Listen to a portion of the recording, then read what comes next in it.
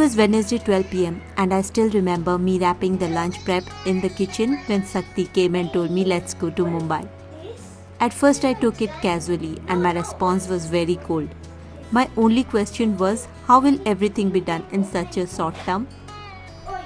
I was waiting to break the news to Ruhi as she was very busy in her normal routine. Sakti was all set in his mind and I knew nothing can stop this trip now. We were thrilled and joyful. I too was looking forward to a break from creating content on regular Mondays. I had no time to spend hours in the parlor, so did a very basic grooming and was set for a 4-day trip.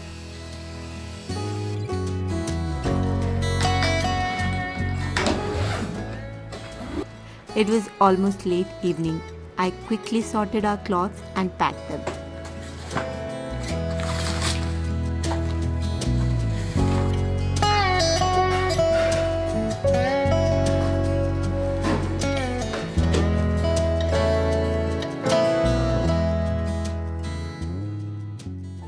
We had a flight at 6:45 am so we started early the next day.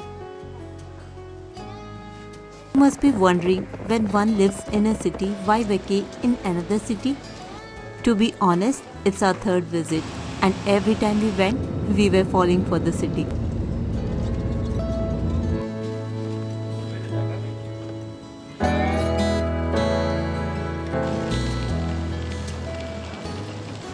This time we decided to rent a car for 4 days and explore Mumbai on our terms.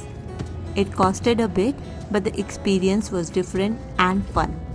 The humid hot weather was also another reason for renting a car.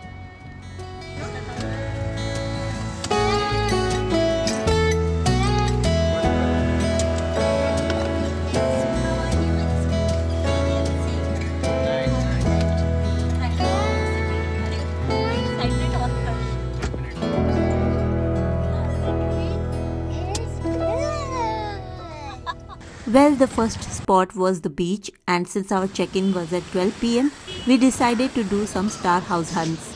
After which, we headed to Prithvi Cafe, which was recommended by one of my Insta friends. We were tired, we were hungry, and the place had summer cafe vibes. The cool sound of koel, the relaxing environment that was filled with people who were mindful enough not to talk loud as it was surrounded with residences. The food, the vibes, it was so perfect, I just didn't want to leave the place.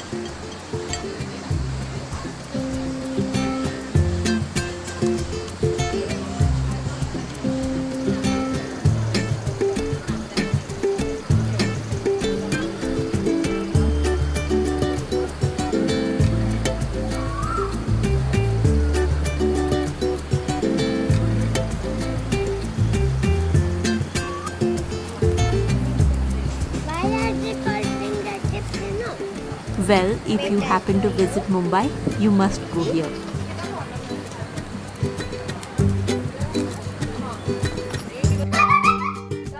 By 12:30 pm we checked into the hotel.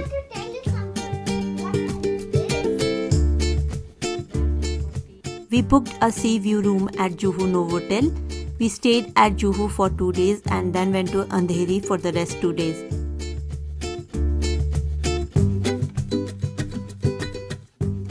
The interior of this room was such an inspiration, especially the way they have worked out with the focus lighting and accent lighting.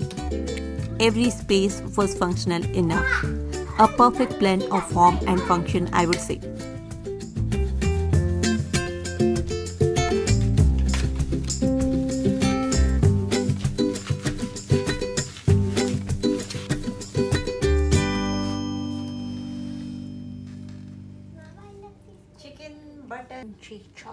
Chocolate truffle cake. Needy. Oh, dumb Read this one. Read this one.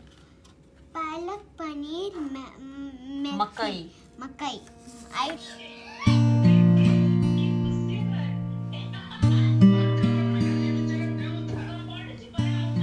The wallpaper had my heart, and the way the flow was created kept green as the main color. It was impressive.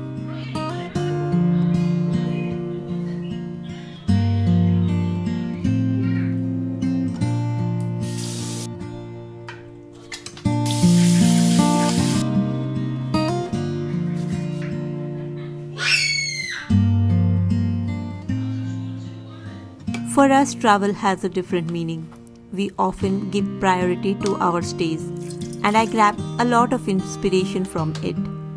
Relax, break from the mundanes, and balance between exploring and rest is our definition of travel.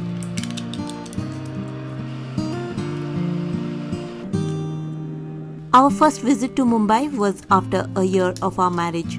The second visit was during Ganesh Puja three years back, and now again. There was no checklist this time. Mumbai Darshan and the most awaited festival of the city were already witnessed. This trip was to feel the vibes in the city. Work sometimes takes a toll on all of us, and in today's busy routine, it's more often. In the chaos of going to trip or not going to trip, I'm glad we made it happen. When we first came to this city as a couple, there was fear, doubt, uncertainty. But now, this city has turned into a healer to the soul. Everyone has that favorite travel destination where one can let go oneself. Allow the mind to wander, to see the possibilities and find yourself. For us, it's Mumbai the city of dreams. And yes, I may sound filmy, but this city takes us on a dream ride. It was time to hit the road and do some more star house hunts. To our surprise, we were just few kilometers away from some of the most renowned actors' den. Accidentally, I came across Aradhana. Yes, Abhishek and Aishwarya's den. Then the curiosity kept growing, and to our surprise, we spotted most of them without a Google map. Arya's flat was lit up for her wedding, and Ajay's Shakti house was under renovation. We halted at a place in Goregaon East to have some evening snacks. It was Dim Sum Woo, the best momos I ever had. It was almost night, and the first day of the trip was already rocking.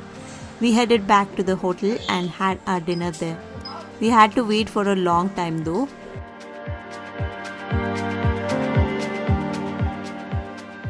On the second day, we planned to pay a visit to IKEA. The dinner and breakfast was complimentary here in the hotel. They had widespread salads, appetizers, juices, fruits, and sandwiches along with the Indian menu for the buffet, and we were just going with the flow. The backside of the hotel was big enough with a pool and a view of the sea. To be honest, enjoyed every bit of the stay, be it indoors or outdoors tall coconut trees providing shade from the scorching sun to the sound of the waves touching the shores soothed our souls.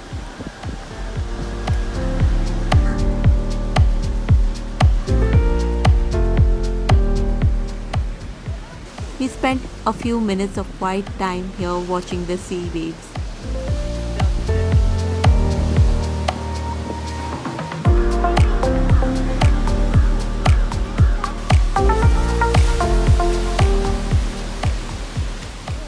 By 1 pm, we quickly grabbed our lunch at Angrezi Dhaba. The name excited us, the rating was good enough, and the most exciting thing was that they cook Angrezi sabzis with desi gravy. Finally, it's IKEA. I read a meme once. When you are a kid, your dream destination is Disneyland, and when you are an adult, it's IKEA. We were planning since a long time, but कभी उसका number नहीं आता था. This is just a gist. We spent three hours here so it's worth the content. my next video will be dedicated to IKEA, the tour, the guide, what I bought. If you visit for the first time, what things you need to keep in mind, I'll talk more on that. We were damn tired, and the second day was more exciting than the first one.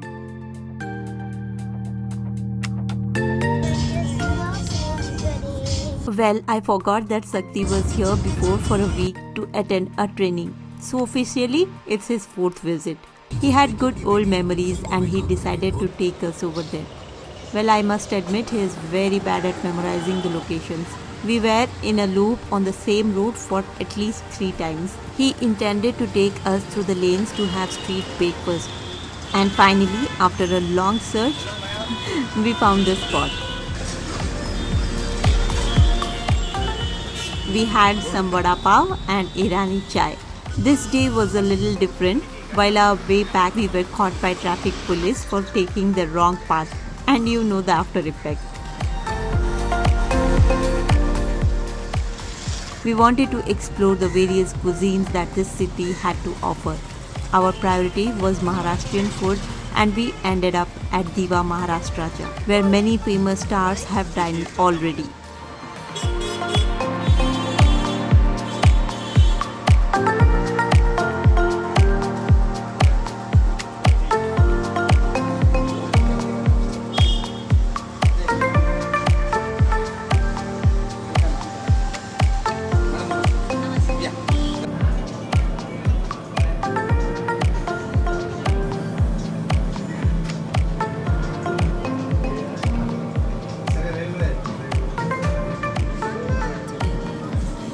The owner of the restaurant was humorous and attended every single table to brief about this venture and how all this began. Enjoyed the food as well as their hospitality.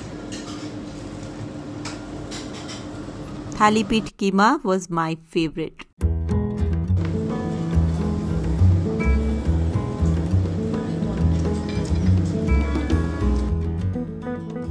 Next on our list was Snow World. We were planning for Imagica, but we knew Ruhi won't enjoy a single ride as he has height phobia.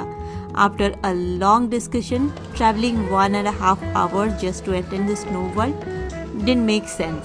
So we decided to experience the same in the Phoenix City. Well, the mall life in Bangalore is much more happening than in Mumbai. I must admit that.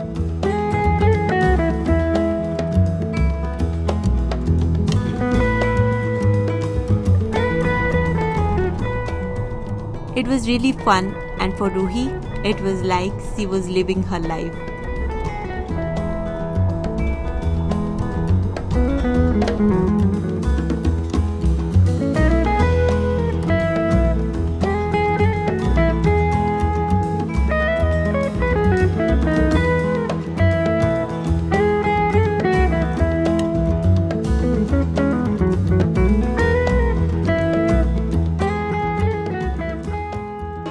third day ended with a dinner at a restaurant nearby our hotel. I've heard nightlife in Mumbai is happening, wanted to witness one, but we were denied at most of the places because they don't allow kids. इसी से काम चलाना पड़ा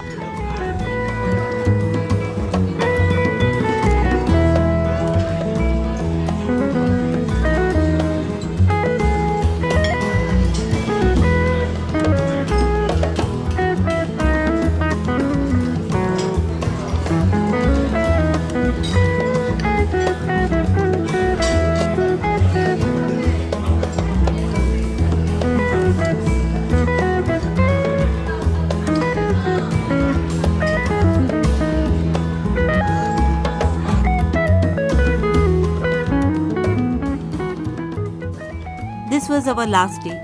Itinerary was having Parsi Khana and Film City tour. We traveled all the way to Filmistan, a place that didn't excite me a lot. While having breakfast, we came to know that we can't enter if we don't have a permission. Then we figured out it was Film City where one can tour the sets.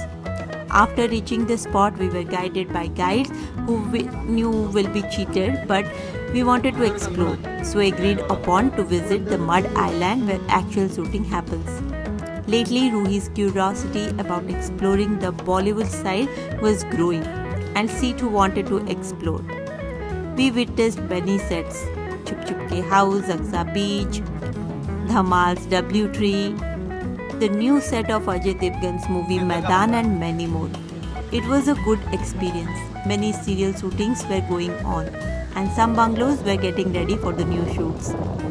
It was quite a kind of experience, a knowledge that took us so long to figure out.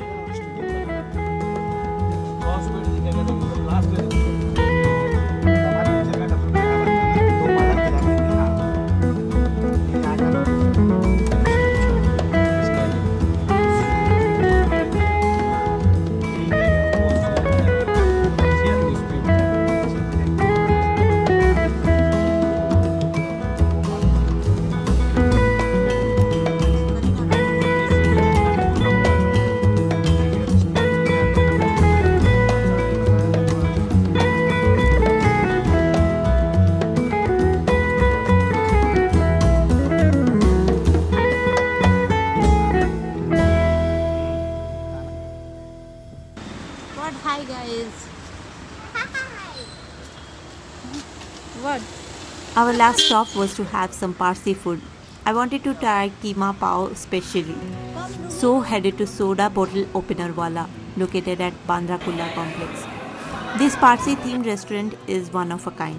The dining experience, the nostalgic interiors, the music, the knickknacks collected gives a very traditional Parsi cafe looks. Patterned floors had my eyes. This was perhaps the last meal outside.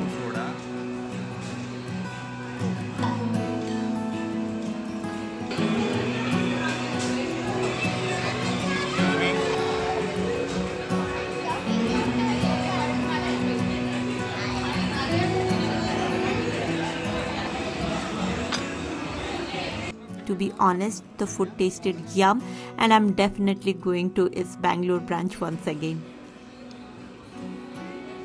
Let's tour in the second hotel that we stayed at. It was a boutique hotel with neat yet vibrant colors used in the interiors.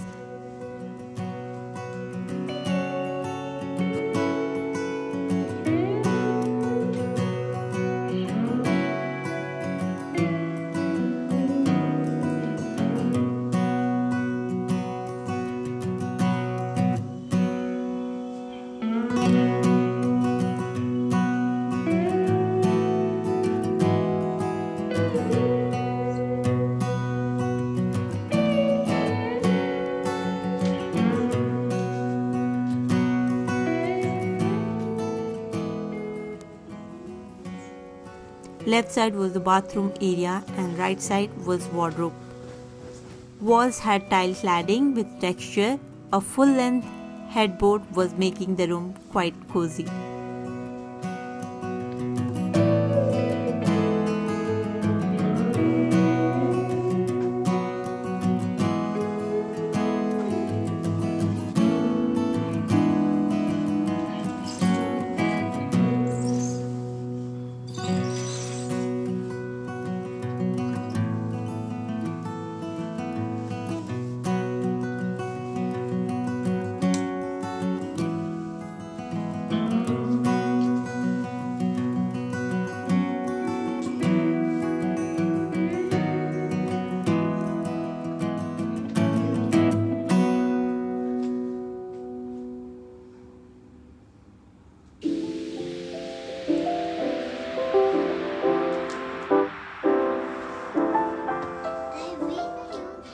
Well, many of you have joined me in this journey. I welcome you wholeheartedly. I hope my contents add value to your life and help you in some way or the other. What's your take on this trip? Do let me know in my comment box and let's get connected. That's all for now. Meet you soon with IKEA tour video and I hope you are excited as I am. Yes or no? Comment below. Do consider subscribing if not yet. Stay safe. Bye bye.